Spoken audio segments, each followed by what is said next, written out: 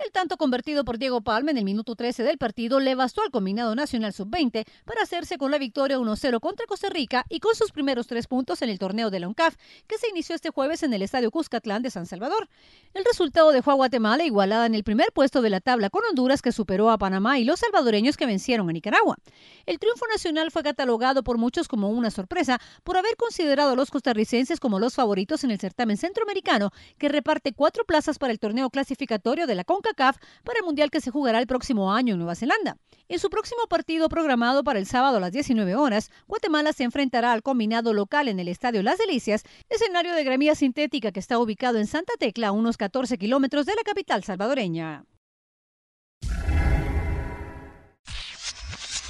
Publinews, lo más importante de las noticias, un diario internacional de Metro y del grupo Emisoras Unidas, 50 años.